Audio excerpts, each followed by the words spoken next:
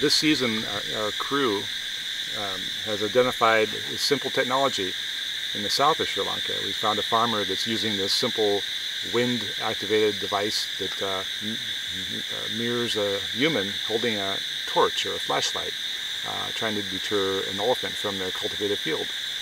We've brought this technology, we've made some simple devices um, and brought them to the north of Sri Lanka and we're introducing, introducing these uh, devices to some local farmers that we have uh, developed a relationship with.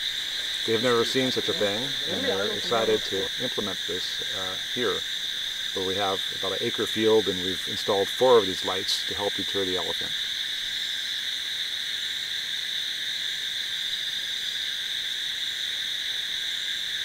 This, this farm is challenged from all directions, so we decided that two of our wind torches are best uh, on two locations, and we've identified this as the edge of uh, Nagarhole on this side, there, and uh, it'll rotate this light so that it mimics a person holding a flashlight, as we, as we discussed. So uh, this hopefully will be a great elephant deterrent, and one on this side and one on the other side hopefully will allow these guys to sleep some at nighttime. Right now they have to uh, play, uh, leapfrog with each other and staying awake all night to keep the elephants out of the field.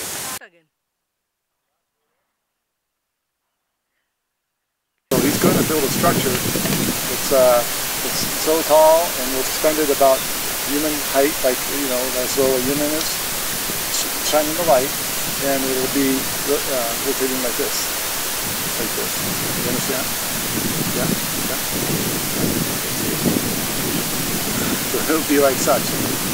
And, uh, and we'll even give them a third wind torch. We see that the uh, challenges here are much greater than the average because of the location near four different states with one of the highest concentrations of elephants.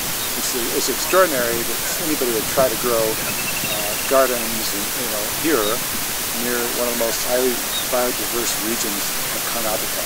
So uh, anyway, we're going to do our best to protect the elephants um, and protect the people as well and let them earn, earn a living while they're here. So um, we'll be given a third one. But anyway, we've located the second location. Now we'll be going over to a third location. Anyway, I was very excited for the program. We'll be coming back next year to, uh, to check on the progress.